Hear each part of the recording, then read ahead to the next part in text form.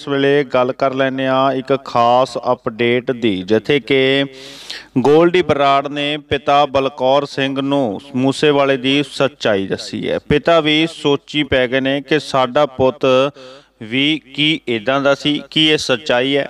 ਜਰੂਰ ਤੁਹਾਡੇ ਨਾਲ ਸਾਂਝੀ ਕਰਾਂਗੇ ਪੂਰੀ ਵਿਚਾਰ, ਸੋ ਸਾਰੇ ਜਣੇ ਆਪਣੇ ਚੈਨਲ ਨੂੰ ਸਬਸਕ੍ਰਾਈਬ ਕਰ ਲਿਓ, ਸੋ ਵੀਡੀਓ ਨੂੰ ਸ਼ੇਅਰ ਕਰਿਓ ਲਾਈਕ ਤੇ ਕਮੈਂਟ ਵੀ ਕਰਿਓ, ਸੋ ਆਪਣੇ ਚੈਨਲ ਦੀ ਬੈਲ ਆਈਕਨ ਨੂੰ ਜਰੂਰ ਪ੍ਰੈਸ ਕਰ ਲਿਓ ਤਾਂ ਜੋ ਹਰ ਇੱਕ ਵੀਡੀਓ ਦਾ ਨਵਾਂ ਨੋਟੀਫਿਕੇਸ਼ਨ ਤੁਹਾਡੇ ਤੱਕ ਸਭ ਤੋਂ ਪਹਿਲਾਂ ਪਹੁੰਚ ਸਕੇ।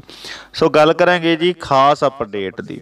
ਜਿੱਥੇ ਕਿ ਸਿੱਧੂ ਮੂਸੇਵਾਲੇ ਦੇ ਪਿਤਾ ਬਲਕੌਰ ਸਿੰਘ ਆਪਣੇ ਪੁੱਤ ਦੇ ਕਤਲ ਦੇ ਮਾਸਟਰਮਾਈਂਡ ਗੋਲਡੀ ਬਰਾੜ ਦੀ ਗ੍ਰਿਫਤਾਰੀ ਤੇ ਖੁਸ਼ ਹੋਏ ਸਨ। ਉੱਥੇ ਹੀ ਇੱਕ ਨਵਾਂ ਮੋੜ ਇਸ ਕੇਸ ਦੇ ਵਿੱਚ ਆ ਗਿਆ ਹੈ ਜਿੱਥੇ ਕਿ ਮੂਸੇਵਾਲੇ ਦੇ ਬਾਰੇ ਹੀ ਗੋਲਡੀ ਬਰਾੜ ਖੁਦ ਬੋਲਦਾ ਪਿਆ। ਜੀ ਹਾਂ, ਗੋਲਡੀ ਬਰਾੜ ਖੁਦ ਕਹਿੰਦਾ ਹੈ ਕਿ ਮੂਸੇਵਾਲਾ ਗੁਨਾਹਗਾਰ ਸੀ ਜਿਸ ਨੇ ਉਸ ਦੇ ਭਰਾ ਦਾ ਕਤਲ ਕਰਵਾਇਆ ਸੀ। ਹੋਰ ਵੀ ਕਈ ਅਪਰਾਧਿਕ ਗਤੀਵਿਧੀਆਂ ਦੇ ਵਿੱਚ ਐਕਟਿਵ ਰਿਹਾ ਸਿੱਧੂ ਮੂਸੇਵਾਲਾ ਜਿਸ ਕਰਕੇ ਉਸ ਨੂੰ ਮਾਰਿਆ ਗਿਆ ਹੈ।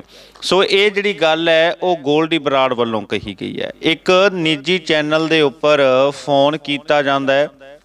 ਗੋਲਡੀ ਬਰਾੜ ਮੈਂ ਬੋਲਦਾ, ਇਹ ਕਿਹਾ ਜਾਂਦਾ ਕਿ ਮੈਂ ਕੋਈ ਗ੍ਰਿਫਤਾਰ ਨਹੀਂ ਹੋਇਆ, ਹਾਂ। ਮੈਂ ਗ੍ਰਿਫਤਾਰ ਬਿਲਕੁਲ ਨਹੀਂ ਹੋਇਆ। ਮੇਰੀ ਗ੍ਰਿਫਤਾਰੀ ਦੀ ਖਬਰ ਜਿਹੜੀ ਹੈ ਝੂਠੀ ਫੈਲਾਈ ਜਾ ਰਹੀ ਹੈ। ਹਾਲਾਂਕਿ ਚੈਨਲ ਇਸ ਗੱਲ ਦੀ ਪੁਸ਼ਟੀ ਨਹੀਂ ਕਰਦਾ ਕਿ ਉਹ ਗੋਲਡੀ ਬਰਾੜ ਸੀ ਜਾਂ ਕੋਈ ਹੋਰ ਸੀ। ਫਿਲਹਾਲ ਫੋਨ ਜ਼ਰੂਰ ਕੀਤਾ ਗਿਆ ਹੈ ਇਹ ਕਿਹਾ ਗਿਆ ਕਿ ਮੈਂ ਗੋਲਡੀ ਬਰਾੜ ਆ ਮੇਰੀ ਖਬਰ ਜਿਹੜੀ ਹੈ, ਗ੍ਰਿਫਤਾਰੀ ਦੀ ਝੂਠੀ ਹੈ।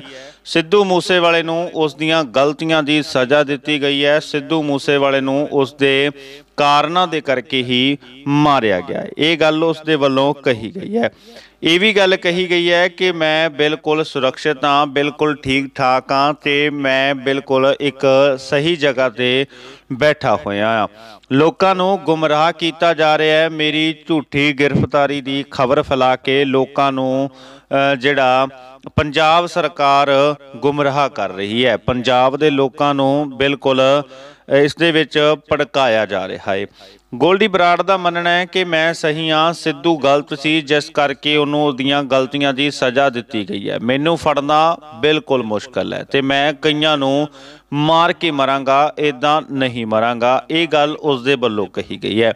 ਹਾਲਾਂਕਿ ਕੀ ਉਹ ਗੋਲਡੀ ਬਰਾੜ ਹੀ ਸੀ ਕਿ ਪੰਜਾਬ ਸਰਕਾਰ ਲੋਕਾਂ ਨੂੰ ਭੰਬਲ ਭੂਸੇ 'ਚ ਪਾ ਰਹੀ ਹੈ ਕਿ ਸਰਕਾਰ ਲੋਕਾਂ ਨੂੰ ਗੁੰਮਰਾਹ ਕਰਨਾ ਚਾਹੁੰਦੀ ਹੈ, ਇਹ ਤਾਂ ਸਮਾਂ ਹੀ ਦੱਸੇਗਾ। ਫਿਲਹਾਲ ਗੋਲਡੀ ਬਰਾੜ ਗ੍ਰਿਫਤਾਰ ਹੋਇਆ ਜਾਂ ਨਾ, ਇਹ ਵੀ ਹਾਲੇ ਗੱਲ ਬਿਲਕੁਲ ਲਟਕਦੀ ਦਿਖਾਈ ਦੇ ਰਹੀ ਹੈ। ਜਦੋਂ ਸੱਚਾਈ ਸਾਹਮਣੇ ਆਊਗੀ, ਜਰੂਰ ਤੁਹਾਡੇ ਨਾਲ ਇਸੇ ਚੈਨਲ ਤੇ ਸਾਂਝੀ ਕਰਾਂਗੇ। ਸੋ ਸਾਰੇ ਜਣੇ ਨਾਲ ਜੁੜੇ ਰਹੋ ਜੀ। ਤਦ ਤੱਕ ਧੰਨਵਾਦ।